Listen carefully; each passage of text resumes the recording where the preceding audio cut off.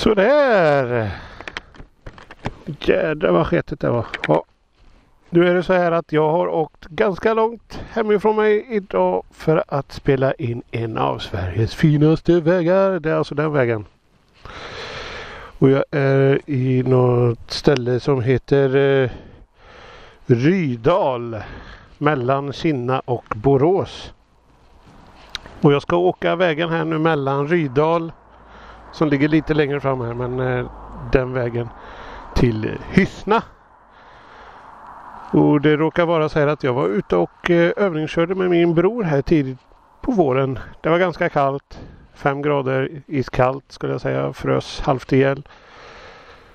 Men vi åkte denna vägen och jag tyckte åh gud vilken fin väg. Så jag tänkte att den ska vi åka. Eller den ska jag åka igen när det är grönt och varmt och skönt. Himlen är blå, inte ett moln. Ja, där är några. Ja. Men... Eh, vi kör